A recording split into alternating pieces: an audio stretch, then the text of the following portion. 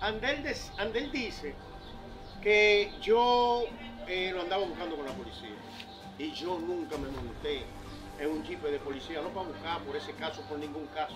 Un amigo mío que había cometido un acto conmigo, en los mismos manes, él supuestamente salió indicado a buscarme. El menos indicado. ¿Por qué mandó el manducado? El menos indicado porque que- él no podía, no entiende cómo es, buscarme con la policía porque él sabe que habían cometido una fechoría. Come- vieron, habían en, un, en, un, en un robo y habían matado a un vigilante. Eso es verdad, papujo comía materia fiscal y andaba como un loco. ¿Es tu compadre? No, él era mi hermano, pero yo tengo que decir la verdad.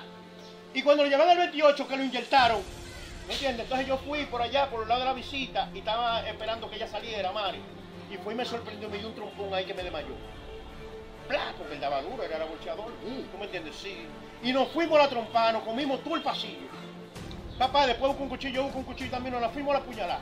Ahí se metió Clas, se metió Chilitón, se metió Diné, Luis Ramón, se metió un par de gente. ¿Tú me entiendes? Entonces de ahí para allá él siempre me respetó.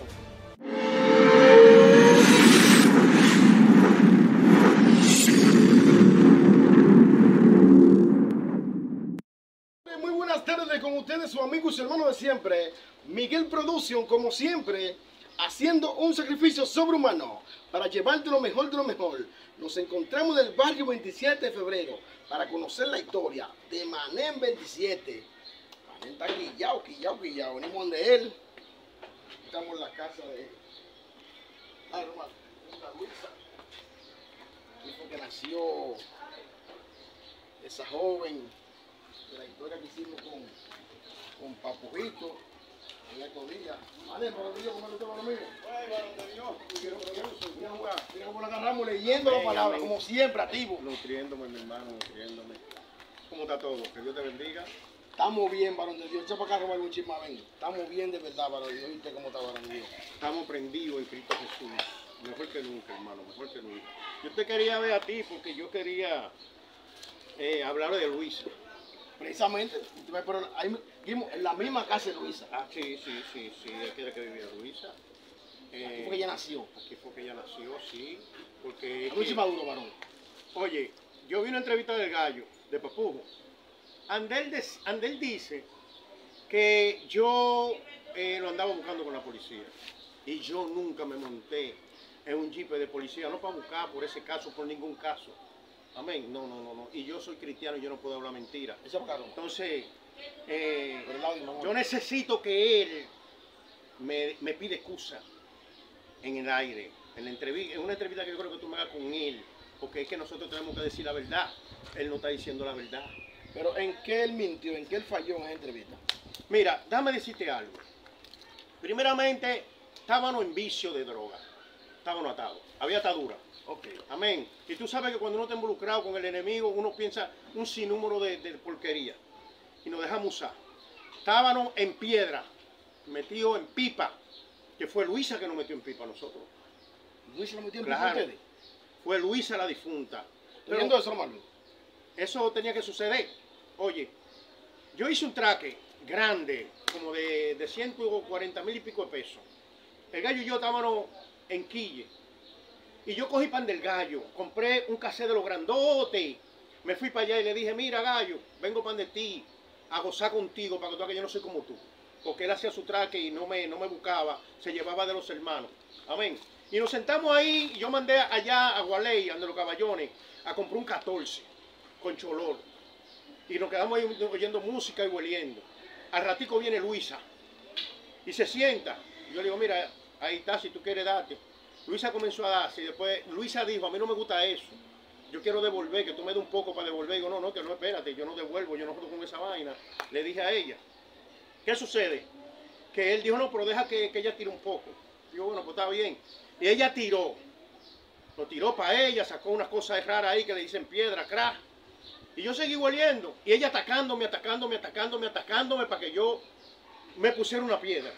Pero ya el gallo ya estaba intoxicado, porque el ya el gallo ya lo había intoxicado. ¿Me entiendes? Hasta que yo puse la piedra en el conito de hilo. Y ese día de que yo metí esa piedra, yo subí a la luna, hermano. Y ahí se jodió todo. Porque desde ese día yo no me di un pase de polvo, yo lo que metí era crack. ¿Tú me entiendes? Y yo hacía traque que se podían ver y todas las cosas, y ahí me volví una basura, que eso es lo que quiere el enemigo. Pero ok, vámonos a lo de Luisa. A través del tiempo, a través del tiempo, el gallo hizo un traque y yo voy allá a que me dé un poco de droga, pedirle droga al gallo. Y cuando yo voy, toco la puerta. No me quisieron abrir, me dijeron que me vaya. Váyase, váyase, que no lo queremos aquí. Así mismo, yo aceché por la endija. Estaba Topo, estaba Nelson, estaba Hueso, estaba Papujo y estaba Luisa. Estaban Luisa, los cuatro, los, cuatro, déjame ver, cuatro estaban ahí. Los cuatro, los cinco estaban ahí. Yo me fui para mi casa. En la madrugada me llaman que matan a Luisa ahí atrás de la casa de Papujo, a Marisholka. ¿Quién la mató?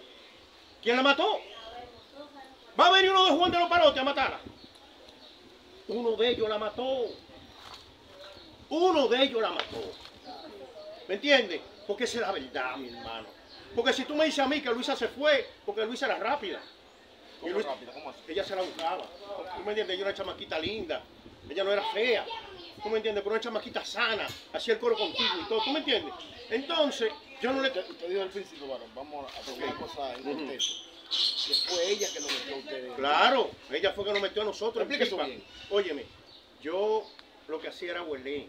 ¿Tú me entiendes? Yo conocía a entendí, entendí. yo conocía a Luisa, pero nosotros estábamos compartiendo en la casa de Papujo. Entonces ella vino, nosotros compartiendo, y dijo que le diera un poco de cocaína para ella tirarlo. Cuando ella lo tiró, ella se estaba dando su piedra. Yo no quise en ningún momento, pero me, me insistió y me insistió y me insistió. Hasta que yo puse, yo dije, no, porque yo puedo, eso no es nada. Cuando yo la puse ahí, porque tampoco ella me obligó, ni me puso una pistola en la, en la cabeza, yo puse la piedra y desde ahí me quedé. Por atrás, ¿Me entiendes? Ahí me quedé, orgánico. ahí me quedé. ¿Qué sucede? Que oí la entrevista que él dijo que en el palacio, que yo salí a buscarlo, que yo a él lo denuncié, yo en ningún momento denuncié. Al día que lo mataron a él, que, que, mata- que Luisa amaneció muerta, fue en la noche que yo fui a pedirle la droga y vi el polendija y estaba Topo, estaba Hueso, estaba Nelson, estaba Papujo y estaba Luisa. Ahí no me quisieron abrir la puerta. Eso fue en la madrugada. Eso fue, yo fui como a las 10 de la noche. Y me fui para mi casa. Dios me libró de eso. ¿Me entiendes? Porque yo iba a estar embarrado. Olvídate. Cuando en la madrugada me llaman, me tocan en la puerta, matan a Luisa. Está ahí en el, en- en- el hoyo. Está muerta atrás de la casa de Papujo. En la cueva. En la cueva. Casa chévere. Exacto, sí, sí, de chelo. Donde ñiñía. Es correcto. Ahí está, está muerta. Digo, ¿cómo va a ser? En ningún momento yo fui ni vi ni nada. La muerta estaba ahí, vino homicidio y me estaba buscando a mí. Yo no sé por qué me buscan a mí. Digo, bueno, pero yo no tengo hecha ni sospecha. Eh, le, dije, le dije aquí en el colmado a Pedro, que era dueño de del colmado de aquí de la esquina, le dije, mire, me está buscando la policía, ¿qué hago? Usted no hizo nada, entréguese. Me entregué, cuando yo estoy allá, llaman a Topo, llaman Topo está allá, está Hueso y está Nelson. Hueso es la hermana de Papujo, igual que Topo. Nelson es el marido de Hueso. A Nelson lo tienen así cruzado allá y le dan un galletón. De que Hueso vio que le den un galletón a Nelson, dijo, espérese, espérese que yo voy a hablar. La hermana de él dijo, mire, para mí yo creo que fue Papujo que la mató. La misma hermana. Cuando un hermano acusa a otro, ¿qué dicen? No, él tiene otra hermana, él dice que es la otra. No, no, no, no, no, fue Hueso. Hueso con cuna, no, Hueso. Hueso era que estaba presa allá, Hueso. Estamos hablando de casi 40 años atrás. Exacto, Hueso, ¿no? Pues yo, yo lo tengo ahí, de, de- de- eso fue un homicidio. Hueso dijo al coronel Elmida, para mí mi hermano fue el que la mató, porque él estaba guayado en los brazos y todo eso. Como que estaba forcejeando. Yo oí un forcejeo en la madrugada, eh, eh, atrás del patio. Porque ellos se fueron y dejaron a, a- a Papujo con Luisa, siguiendo, eh, metiendo. Entonces dime, hermano, ¿tú no ves que le echan 21 años? 21 años. Hay una justicia divina. Homicidio no cierra caso. ¿No habían estado investigando? Habían estado investigando. Mi hermano, si usted está aquí conmigo y estamos compartiendo y usted amanece muerto ahí, yo tengo que saber de eso. Pero vamos a hacer un paréntesis. Ajá. El público que también busque la entrevista que yo hice a Popujito, que por nombre se llama, el nombre, eh, eh, lo que hace, que, que le hace la paga, El que le hace la paga. 21 años preso, se llama, tú la pueden buscar en entrevista. En esa entrevista, hermano, Salón de Dios, él, recuerde bien, que él dice que cuando comenzó la policía a torturarlo, ¿verdad? Él dijo, no, yo no maté a Luisa, yo lo que maté a Al un guachimán. guachimán. Sí. Entonces, como yo maté al guachimán, Manén tiene que ver con eso. Entonces, al yo pensar que Manén me tiró para adelante, yo menté a Manén. O sea, que él estaba preso. Los 21 años, ¿fue por la muerte de Luisa o por la muerte de Guachimán? No, no, eh, a él le echan 45 años. Ok. Él estaba por la muerte del Guachimán y por la muerte de Luisa. Pero en, una, en la entrevista él dice que el menos indicado para salirlo a buscarlo con la policía era Mané. ¿Y en qué momento yo me monté en una jipeta o me sacan del palacio para buscar papujo? ¿O en qué momento le dijeron a él que yo lo metí al medio? Porque tú sabes que cuando tú, llegas- cu- cuando tú estás preso y vas al palacio y tú le dices tú, mire, fue fulano que lo mató, te lo ponen ahí, te dice, fue el que dijo que fuiste tú que lo mataste, ¿dónde es testigo? Entonces, ¿por qué le dijeron a él que fue su hermana que lo metió al medio? Fue Hueso que metió al medio a Papú. ¿Me entiendes? Porque alguien la mató de ellos. Es que a Luisa la mató a alguien. Porque es que si a Luisa aparecía en dos calles para allá o, o- en otro sector, yo no te digo nada. Pero apareció donde ellos estaban metiendo atrás. ¿Quién la mató? ¿Alguien tiene que ver de quién la mató de ellos? ¿Tú no crees? Porque hay que hablar la verdad, mi hermano. Porque una vida no se quita así. El único que tiene derecho a quitar vida se llama Jesucristo. Y no lo hace porque él ama uno. El gallo, el Señor le ha dado eh, mucha oportunidad. El gallo es un privilegio más que muchos tigres que hay en la calle.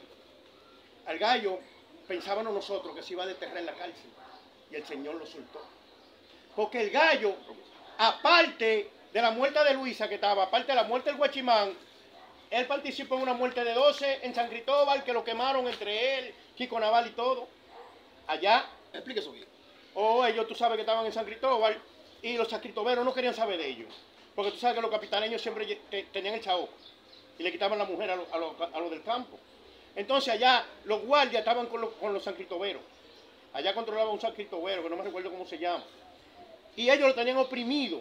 Entonces ellos dijeron, porque la, la- la voluntad de ellos no era matar gente. Ellos dijeron, vamos a hacer un motín para que venga el procurador. ¿Me entiendes? Para que venga el procurador y nos dé el traslado. Entonces al hacer el botín, ellos le pusieron candado a la puerta. ¿Me entiendes? Y ellos prendieron con colcha a la gente de adentro, le tenían prendido. Suscríbete al canal, comparte este video y sobre todo, dale mucho, dile, dale mucho like, dile, manín, Dale mucho like, nútrete, nútrete. Nútrete. Amén. Suscríbete y Aquí está el Dios, video. aquí está Dios, aquí está Dios. Entonces, hermano, papujo es un privilegio de la vida. Amén. Porque hay muchas personas que vienen al camino y se convierten, pero él no. Era un escogido de Dios. Amén. ¿Me entiendes? Porque si Papujo está vivo ahora, es porque Dios así le ha placido. Papujo ha pasado un sinnúmero de cosas. Papujo se, se puso de que loco allá en San, en San Cristóbal. ¿Tú no sabes que Pa- Papujo comía materia fiscal? Él no te lo dijo. Eso lo dijeron, eso fue verdad. Eso es verdad. Eso lo dijo, ¿cómo que se llama? No, no, no, no, no, eso es verdad. fue contenido de eso. Eso es verdad. Papujo comía materia fiscal y estaba como un loco. Pero es tu compadre. No, él era mi hermano, pero yo tengo que decir la verdad. Y cuando lo llevaron al 28, que lo inyectaron, ya él se sanó, porque él se estaba haciendo el loco. Ah, sí, fue un, un simulacro para poder. Un simulacro no va a poder salir porque que el hombre estaba a cadena perpetua. ¿Me entiendes? Entonces yo no puedo venir aquí a decirte una cosa a ti por otra. ¿A ganar qué? Dime, no puedo, no puedo. Alguien mató a Luisa. Él lo pagó. 21 años. 21 años. Dios no se equivoca. Dios no se equivoca. Mira, te voy a decir esto y te lo voy a confesar. Papujo estaba en, en Monteplata y yo le hice la gestión a Papujo de llevarlo para la preventiva, para Najayo. Allá en Najayo, Papujo me dijo que no fue que mató a Luisa, estaban hablando de eso. Y Papujo bebía una tercera y se cayó de la tercera a las 12 de la noche. ¡Plim, plum! Que yo me desperté. Digo, ¿qué es lo que está pasando? Papujo estaba botando sangre de la boca. Dijo Papujo allá, alante de más gente.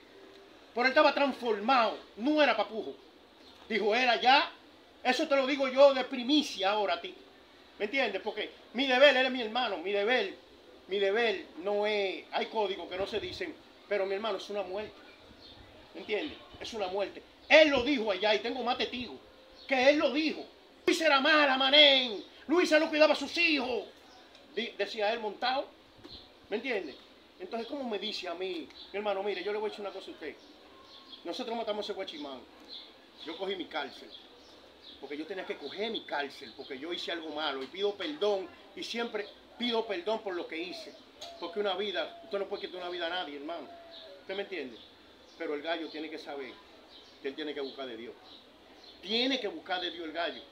¿Me entiende? El gallo tiene un sinnúmero de llamadas, de llamados de Dios. Él era cristiano y Dios lo sacó. Él salió siendo cristiano y de que salió duró un, ratico y se salió. Y todavía no le ha pasado nada por la misericordia de Dios. Él tiene que cuando vaya a una entrevista, hacer la entrevista bien, hablar la verdad. ¿Qué usted gana con hablar mentira? Dígame. Vamos con el, el satrecito.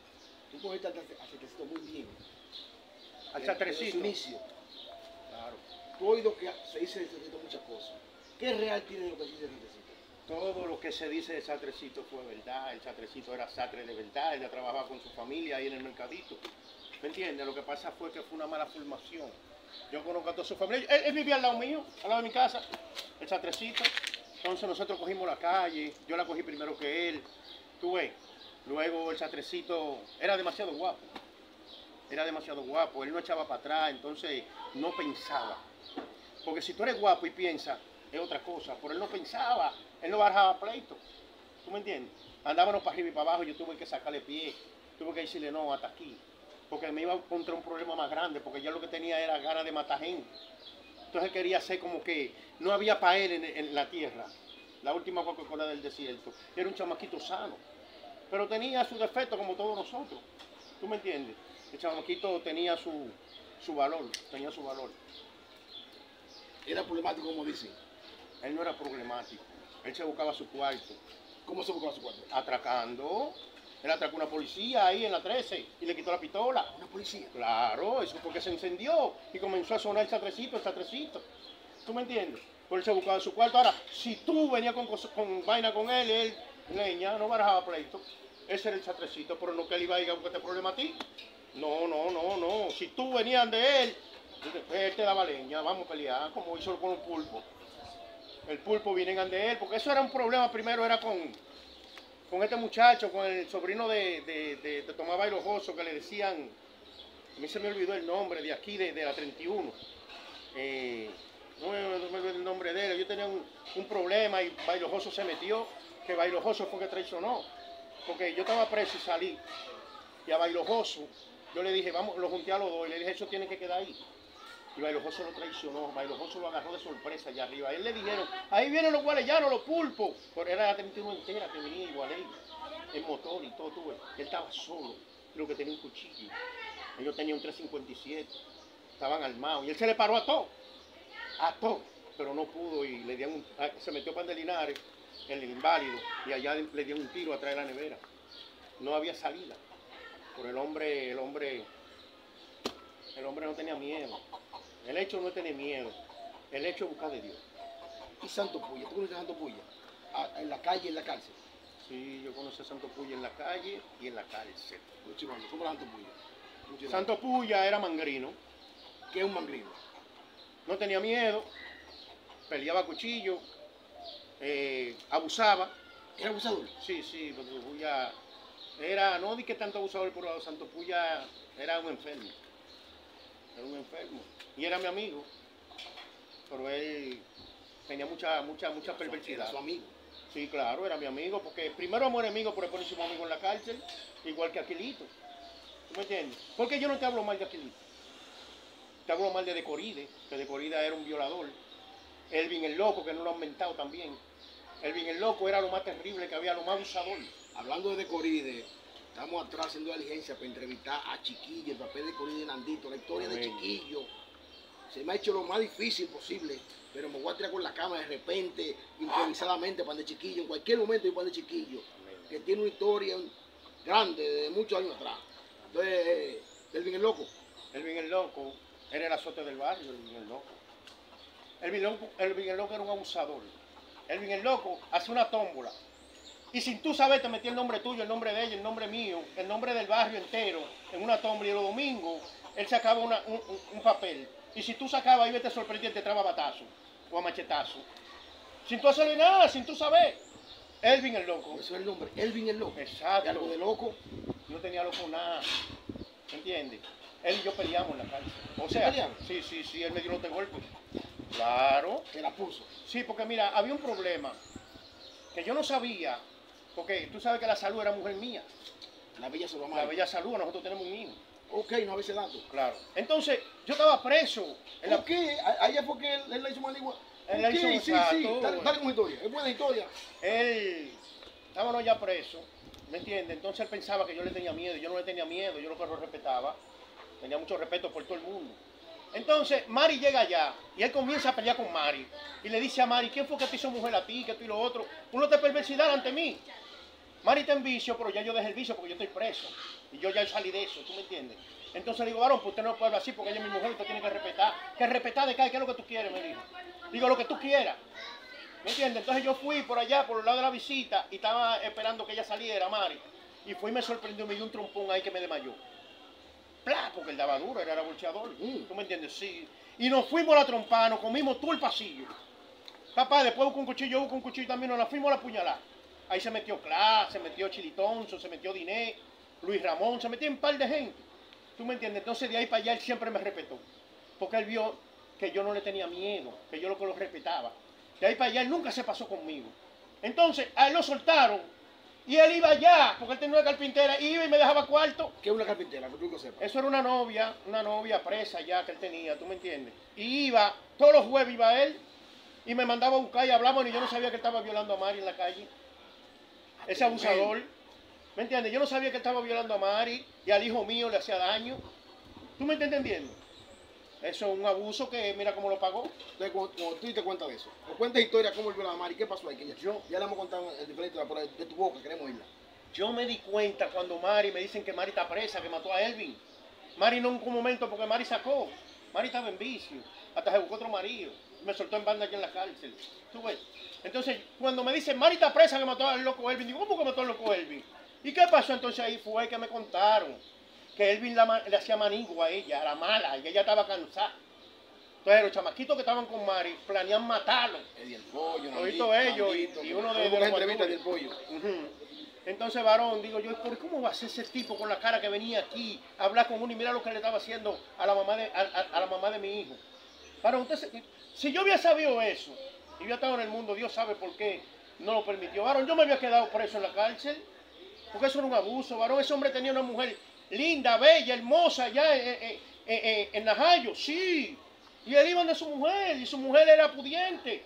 Y mira lo que estaba haciendo. A una mujer en vicio la agarraba, la agarraba por los cabellos, le daba golpe y toda la vaina y la violaba. Elvin el loco, lo más abusador que pasó por aquí, por el 27, Elvin el loco. Ok, eso fue en los años eh, 90.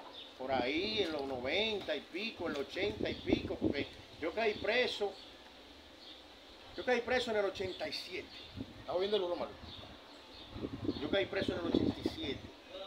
Después sucedía ahí, eso fue como en el 88. En el 88. Pues ¿Quién estaba contando la victoria en ese tiempo? en la victoria no había, no, no había controles. La victoria no había controles. ¿Y por qué se habla de todo el mundo, de todos los tigres? Siempre hay algo de ellos y todo el mundo se la da a Aquilito. ¿Por qué? ¿Qué pasa ahí? ¿Todo el mundo salva? Aquilito, todo el mundo se la da. ¿Por qué? No, no, no, mira, mira. ¿Qué es lo que pasa ahí? Explíquese bien, tú eres un hombre claro. No, no, mira, Aquilito y yo somos amigos. Igual que eh, Elías Fuga y yo éramos amigos, que nosotros. Yo se la doy al que tiene que dársela por su humildad. ¿Me entiendes? Por ahí todo el mundo la tenía. Lo que pasa es que Aquilito era una persona que sabe comprender a la persona. ¿Tú me entiendes? Si él te dice que amigo tuyo, amigo tuyo. Al igual que Moreno 31, igual que Piti Mencina, igual que los otros, Elías Fuga, eh, Colacín, eh, Guandule, el difunto, tú ves. Eh, Este hombre, Carlito Sepúlveda, ¿tú me entiendes? Eh, Pegote, gente que te decían soy amigo tuyo y soy amigo tuyo. ¿Tú me entiendes? Porque me lo demostraron. Eso es lo que pasó. Por allá no había control. Allá no había control. El control que estaba allá, y fue porque se lo ganó, fue Mamadeo. ¿Amadera control? Sí, porque Mamadeo no era control. Era Caco el viejo. Como a la fe. No, no, no, no, espérate. Ok. Mamá, el, el que era control era un mercadero, era Caco el viejo. Estaba también este muchacho eh, eh, de aquí, de, de- que lo mataron, eh, que era muy amigo mío. Eh, Papo el Necio. Estaba allá. Papo el Necio, Papo el Necio se fue, se fue Caco, el viejo, ¿me entiendes? Y Mamadeo agarró a Dani 45 con un barrecama y lo traspasó. Se hizo el control de una vez, porque imagínate, le dio un monstruo, le traspasó, a Dani se lo llevaron y pusieron de una vez Mamadeo como control. ¿Me entiendes? Ya Mamadeo estaba controlando, éramos compadres, Mamadeo y yo, no sé si está vivo, espero que está vivo. Entonces ahí se quedó Mamadeo como control, los mercaderos, tú sabes que eran muy unidos, tú ves. Pero ahí todo el mundo la tenía, Dani la tenía. Mira, yo en ningún momento se le quitaba a Dani. Dani era bravo. De, todos los tigres, de todos los tigres en la cárcel, en la cárcel. Donde decían, venía Dani, Dani está por ahí de lado. La cárcel se movilizaba. Sí, porque el hombre era un terror en la cárcel para mucha gente. Pero yo lo que dije en la entrevista es que había más bravos que Dani. Que Dani no era el único. Porque allá entonces en ese tiempo, ¿por qué él no era el control? Porque él no era el control. ¿Por qué se dejó puñalea de mamadeo? ¿Por qué se le embaló a, a Dalí Priller? Eso es lo que yo digo. ¿Tú me entiendes? Uno de los controles ya que duró más controlando se llamó eh, Marcelino. Marcelino Adame. Marcelino Adame. Marcelino Adame no tenía miedo. Marcelino Adame se, se iba con cualquiera y tampoco no abusaba. ¿Tú me entiendes? Él tenía su cosa como todo el mundo. Pero lo que te quiero decir de Dani, Dani estaba filtrado porque le echan 45 años. Y la gente por el 45, porque allá antes cuando tú decías que estaba 20, que estaba 30, era un respeto que te tenían. ¿Me entiendes? Entonces al, tener 45 años, la gente lo respetaba mucho y muchos le tenían miedo. Pero otros no. ¿Tú me entiendes? Porque si te tenían miedo, ¿por qué Mamadeo te traspasó? ¿Por qué te le mandaste a Odalí? ¿Y por qué tuviste muchos casos allá? Porque él le tenía miedo a Robert. Y a Papiro, y a Papiro. Robert era un chamaquito, un chamaquito hermoso, él, era muy bien pana. Ok. Él y yo. Y él le decía, él, ¿qué es lo que cuando tú quieres lo hacemos? Y él dije que no lo cogía, dije que a Chelcha, dije que viendo, niño. Pero, va- varón, yo era comerciante allá. Ok. Dani me llevaba los dientes de él a empeñar. Dani, 45, para él jugar. Me llevaba los dientes, se los quitaba. Acá dientes. Sí, favorito también. Me llevaba eh, eh, instrumentos y cosas para empeñarse, la colacín, Elías Fuga, todito, mamadeo, todito iban allá. Todos los tigres iban allá, yo negociaba con todito. Con todito yo negociaba, yo sé la historia de lo que estaban allá en ese tiempo, que yo estaba allá, yo sé la historia de todito. El único que no fue nunca a empeñar mi vaina fue Aquilito y Moreno 31. Piti Mencina no estaba allá. Pero después toditos fueron a empeñarme y a buscar cuarto. Yo era negociante, yo no me metía con nadie, pero que nadie se metiera conmigo. ¿Tú me entiendes? Y ellos lo saben, que hablen, que hagan una entrevista de lo que estaban allá en ese tiempo. ¿Cuándo yo falté? ¿O cuándo yo me le embalé a alguien? ¿O cuándo me hicieron una, una porquería a mí en la cárcel? Nunca. ¿Me entiendes? No es que yo era Superman, no, yo, yo sé que yo moría, pero yo respetaba. De mi boca no salían ofensas. ¿Tú me entiendes? Yo, no, yo respeto a la persona, hermano. ¿Tú ves? Y me gané el respeto, porque para tú ser, para tú, para que tenga el respeto a ti, tú no tienes que ser Superman. Tú tienes que respetarlo. Eso es así. ¿Tú me entiendes? Entonces, varias veces eh, buscamos un par de pleitos allá. Eh, nos fuimos un par de veces a la puñalada y yo la puse. Mm. Sí, claro, yo la puse. ¿A quién se la pusiste? Oh, yo se la puse al King Kong, de ahí de, de, de, de la romana. Una ¿Por vez, qué? ¿Qué pasó, serio? Te llama serio. ¿Por qué pasó eso? mira, yo me iba para la calle. Iba para la calle, entonces él y el tocayo Manén querían tener control de la celda. El hermano millonano que quemó la celda ya, la Pero celda sí. el alto. Manén el boricua, mi Ah, compadre. El Boricua, tam- también lo entrevistamos en esta plataforma. Lo pueden Ah. buscar en entrevista también. mi amigo, mi amigo, el, el pastor, que Dios me lo siga bendiciendo mucho. Amén. Amén. Eh, estaban muy desacatados los dos. Ellos eran pareja, Kong y Manén, el boricua. Entonces, ya yo me iba, yo no quería más problemas. ¿Tú me entiendes? Porque yo, yo, yo amo la calle. Yo no fui como, como muchos iban a quedarse en la cárcel. No, entonces ya me dijeron que me faltan cinco días para irme y no estoy en eso, estoy sacando un balance para vender colmado. ¿Tú me entiendes? Cuando viene el hermano mío y Jesús el mecánico y me dice, Manén, esta gente de que tú te vayas no van a entrar, van a hacer un lío aquí. Digo, no, ellos no van a hacer nada. Que lo van a hacer, te digo que lo van a hacer. Digo, no van a hacer nada, pues yo no estaba en eso, yo estaba en calle. Cuando yo estoy sacando el balance, oigo que suena una botella allá atrás. ¡Pra! Y me embalo para allá porque yo tenía dos cuchillos. Me embalo para allá y cuando veo, veo a King Kong y veo al compadre Manén, al tocayo Manén.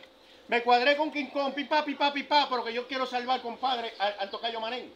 el tocayo Manén está en una goleta. ¿Me entiendes? Entonces el tocayo me ve, yo le digo, coño, tocayo, ¿y qué es lo que? Y nos cuadramos. Pero ya que Kong tiene el montón sacado. Entonces ahí, yo lo que hice fue agarrar el tocayo, él se fue por toda la goleta, y ahí mismo estaban los llaveros y sacarlo. Por eso, gracias a Dios, por la misericordia de Dios, porque el, el tocayo Manén era un propósito de Dios. Por eso estás vivo en, este- en este momento. ¿Tú me entiendes? Entonces ahí a ellos lo trasladaron. eh, yo me quedé allá, yo me fui. ¿Tú me entiendes? Pero después agarraron y me enceronaron entre César Pegote. No, no enceronándome a mí, ¿tú me entiendes? Yo tenía un colmado en las 5, como te dije. Y yo estoy sacando el balance. Y, Chi- y Chinito Bisonte va y me tranca la puerta y me dice, no deje que la abran, mané, no deje que la abran. Digo, ¿y qué es lo que pasa? Y coge mi cuchillo y viene los tonjones, viene de Jima, viene César Pegote, vienen más de 200 mercaderos. Que no es contigo, que es con tu gente. ¿Qué es lo que me están diciendo? Pero mi hermano está ahí, está Marianito, está Pedrito. ¿Tú me entiendes? Pero yo no sabía lo que estaban haciendo Marianito y Pedrito. ¿Tú ves? Ellos estaban violando gente y haciéndolo de desastre. Y yo no sabía nada. Entonces yo me lo, me lo dijeron. ¿Tú me entiendes? Porque yo salí a hablar con ellos con los cuchillos en la mano y me pegué a la pared. Pues ellos me lo dijeron. Y ahí hablamos y yo lo saqué a ellos dos para afuera. ¿Tú me entiendes? Eh, porque cuando yo llegué allá, lo, lo- lo de gente del 27 le hacían de todo. Ajá. Sí, Explíquese bien. la gente del 27, allá no tenían boni mami. La gente del 27, cuando yo llegué, Vamos para acá, ven, estamos. cuando yo llegué, Vamos, estamos encontrando. Sigue hablando. Cuando tú llegaste, cuando yo llegué, allá, la gente del Ok. 27 no tenían boni mondo, ni mando. Allá estaba Vapor, Vapor que es mi amigo, era mi amigo el difunto, pero que ya Vapor le habían hecho de todo. Estaba otro, que no me recuerdo cómo es que, era que se, llamaba, se, se llamaba, era de aquí de la 7, que también le habían hecho de todo porque no, no hallan apoyo. Entonces cuando yo llegué, yo agarré a todos los del 27 y me lo llevé para la celda 5. Y hice allí un escuadrón. ajá. Sí, Dame cinco nombres entre 27. estamos ahí. Oh, allá estaba el hermano mío, Nano, eh, Jesús el mecánico, dos, estaba Marianito, estaba tres, Pedrito, cuatro, amén, y estaba eh, eh, King Lucky, cinco. Ok. King Lucky, y estaba también este muchacho que estaba en Nueva York, que, que vive aquí mismo, que tuvo un problema, creo que fue un derrame cerebral. York. Sí, sí, que, que, eh, él, él la tenía. Estaba Pirulí, Está Pirulí. estaba Pirulí y estaba él, y estábamos allá que ya nosotros controlábamos. Yo era el representante de esa celda, Ok. ¿tú me entiendes? Pero que ya de Vietnam entero, yo era el que sabía. De Vietnam entero, yo era el que sabía. ¿Tú me entiendes? Entonces, Moreno y Juan de Dios sabían de aquel lado. Pero Moreno tuvo que buscar la conexión con nosotros, porque solo tú no puedes controlar. Moreno 31. Moreno 31. Ok. Tuvo que la- buscar la conexión con Aquilito, conmigo con los demás. Un día nos sentamos y Moreno nos dijo, mira, nosotros tenemos que unirnos porque mira, Aquilito, tú eres de los guandules, Marén, tú eres del 27 y tú Pirulí. Entonces ahí, porque Moreno tiene inteligencia, ¿me entiendes? Pero tiene humildad. Ahí nos unimos, tú ves. Ellos por la verdad, pero nosotros somos de este lado. Tú ves, porque él tenía una diferencia con Mamadeo. Tú ves. O sea, Mamadeo la tenía con él porque él no conocía a Mamadeo. No lo conocí. No, no, no. Por eso se arregló, eso se, tú me entiendes, Fosforito eh, puso que se arreglara esa vaina. Fosforito. Sí, Fosforito. Fosforito no tenía miedo. No tenía miedo. No, Fosforito no. También lo puede buscar. También lo entrevistamos en esta plataforma. Hemos hecho cuatro entrevistas. Es que Fosforito dicen de que Dani. Antes tú me dejas Fosforito. Antes tú me dejas Corazín. Antes tú me dejas el mismo Santo Puya. ¿Me entiendes? Antes tú me dejas a Carlito Sepúlveda. A Marcelino Adame. ¿Dónde tú me dejas la muerte? ¿Dónde tú me dejas Lemois? ¿Dónde tú me dejas Alberto? ¿Dónde tú me dejas Mackey? ¿Dónde tú me dejas toda esa gente? A, a, a a Guandule. ¿Tú me entiendes? ¿Dónde tú me la dejas para Pornesio? ¿Dónde tú me lo dejas a ellos? Bemba. ¿Dónde tú me dejas a esa gente? No me puedes decir a mí que Dani sí, Dani la tenía. Yo no digo que no, pero yo estoy contando la vivencia que el Señor me permitió. Amén, viví con Dani, con ellos. Allá no había control. Allá no había control. No había control. Allí habían unos matones. Ajá, sí, habían unos matones. Cuando yo era un matón, Miénteme cinco matones. oh Juan de Dios, era un matón. Uno. Moreno 31. Dos, Eh, Dani 45. tres, Carlito Sepúlveda. Cuatro. Marcelino Adame. cinco, Papo el Necio. seis, Eh, Agri. siete. Día duro. Oye, muchacho, Agri, dame decirte, de Jima. Ocho, de Jima, no tanto como yo, pero era, tú me entiendes, Papiro, Bueno. Robert. Robert, Robert, eh, Robert Papeleta. Amén. y- Quintinito, que no lo mientan tampoco. Oye, pero había un escuadrón de guerra. Y ellos, eh, eh, ellos nunca pelearon, ellos. Mm. No, no, no, no, no. Ellos no pelearon. ¿Cómo el que peleó fue. No, no. ¿Cómo fue? Explica eso bien, ¿cómo eran matones y no pelearon? Oye, mírame. El único que peleó allá con Marcelino Amigo oscuro, fue Dani 45. se va a acabar. Ven, vamos con hermano. Pelearon Dani 45, eh, Alberto y Lemois. Ellos pelearon. Eh, Marcelino y Carlito no se llevaban bien. No se llevaban bien. Por el 31 y Marcelino tenían problemas, pero problemas feos. Porque Marcelino, al tener problemas con Moreno, no podía Moreno llegarle. Ande ellos que se veían que peleaban, entonces estaban en la preventiva. Entonces Moreno agarró a Jesús Sacaígado y lo molió y le dijo a que Marcelino él no te conoce, pégate y sácale el mondongo. Sí, porque él no le podía, no podía llegarle, porque si él iba para arriba de él, Marcelino, ¿tú me entiendes? No podía hacer lo que iba a hacer. Entonces Jesús Sacaígado le pasó por el lado y le metió todo el barricama a Marcelino. Entonces se supo que fue mandado por, por Moreno. ¿Tú me entiendes? Ahí fue, donde quiera que ellos se veían en la calle y todo, ellos peleaban. Un día en Boca Chica, yo no mucho de Canita, estaba Moreno. Y, perdón, Moreno está orinando allá atrás, en el patio de Canita. Y Marcelino entró con otro tipo, con un barra de cama, buscando a Moreno, porque dijeron que estaba ahí. Y yo me embalé y le dije, Moreno, ahí está Marcelino. Y cuando Moreno oyó que yo le dije así, Moreno salió con el cuchillo, con un puñal que tenía Moreno en la mano y se tiran un par de puñaladas, pero no se podían hacer nada. Una mujer la metían en el medio, ¿me entiendes? Y los policías vinieron. Pero Marcelino le tenía ganas a Moreno y Moreno a Marcelino. ¿Tú me entiendes? Eso fue en los pleitos que había ahí. Por allá había un cuadrón de gran machada grande. Ya, pero pide entrevista. La pelea más sangrienta que tú viste allá, que tú participaste. La pelea más sangrienta. Bueno, allá habían tanta pelea.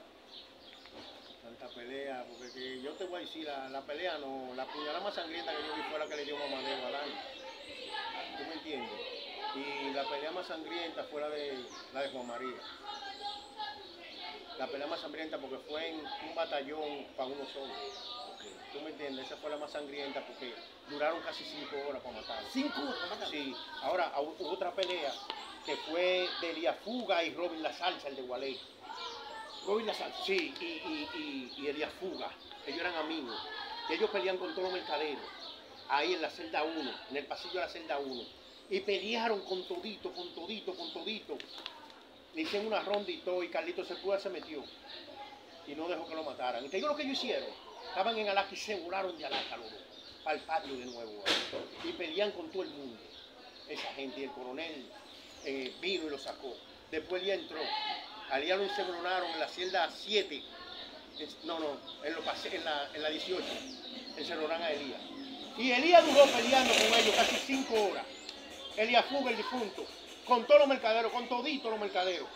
Y el coronel dejó que lo mataran, para que lo mataran, dejó el coronel. Y él peleó con toda esta agua de arroz, le echaron caliente. Y el coronel después entró con su ejército. Y ellos diciendo, y los mercaderos diciendo, no, pero déjenlo, déjenlo, déjenlo. Y él dijo, pero yo se lo dejé cinco horas y no lo mataron. ¿Para qué se lo voy a dejar? Y lo sacó a Elías Fuga. Esa fue de, de la pelea más sangrienta que yo vi allá, ¿tú me entiendes? Ya, man, ven, un mensaje a la juventud, que juventud está tan rápido, ya mirando el testimonio que usted acaba de dar, y al final eso es lo que atraso, muerte, cárcel. Eh, un mensaje a la juventud, man.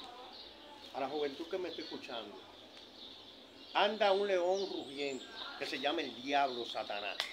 Yo pasé por lo que tú estás pasando y yo pensaba que era la última Coca-Cola del desierto, pero era mentira, es un engaño, es una falsedad del enemigo para que tú te la creas, para que tú salgas a la calle a y deshacer, para que tu alma sea perdida, porque lo que quiere tu perdición, pero Dios quiere tu salvación.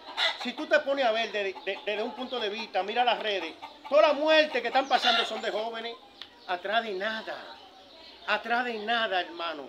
Así es que recapacita. Dios te ama. La única manera de tú recapacitar y entender lo que está pasando con tu vida es acercándote al camino de Dios, entregándole tu corazón a Él. Inmediatamente tú te entregues a Dios, Dios te va a quitar la venda que el enemigo te tiene puesta y tú vas a ver la vida, la vida que Él te ha dado, qué tú vas a hacer con ella, cómo caminar, pero ahora tú estás atado. Dicen que no, Yo no estoy atado. ¿Y qué atadura? Usted está atado, hermano, si usted está en el mundo. Amén. Y el único que puede romper esa cadena se llama Cristo Jesús, por eres tú poniendo de tu parte, porque Cristo es amor y Cristo no te obliga. Amén. Tú tienes que venir al camino con amor, por tu decisión propia. Tú sabes que el trabajo del enemigo es hacerte caer, porque él está perdido. Entonces él quiere que tú te pierdas para él burlarse de ti en el lago de fuego. Él te pone, él conoce tu necesidad, tu debilidad. Él te la pone ahí todita huevita. Pero tú comes si tú quieres del pecado, del placer. Tú comes si tú quieres, no obligado. Amén. Así que, por favor, juventud, que Dios lo bendiga mucho y recapaciten, por favor. Hay una persona que lo ama, un ser maravilloso, que lo está esperando con los brazos abiertos y se llama Cristo Jesús. Gracias, hermano Manén, por esa linda palabra. Suscríbete al canal, comparte este video y sobre todo dale mucho like. Estamos sumamente agradecidos los que el día cero están apoyando nuestra plataforma y más aún agradecidos los que llegaron al final del video. Mi hermano y mi amigo Ramón Martínez, wow, mi hermano, quiero que salga pronto de donde tú estás, hermano mío. El Bob, lo entrevistamos en este canal. Cuánta gente con nosotros, la gente de Nueva York, la gente de Pensilvania, la gente de Puerto Rico, la gente de Miami, la gente de España, la gente de México. Cuánta gente con nosotros. Sumamente agradecido, sumamente agradecido con ustedes.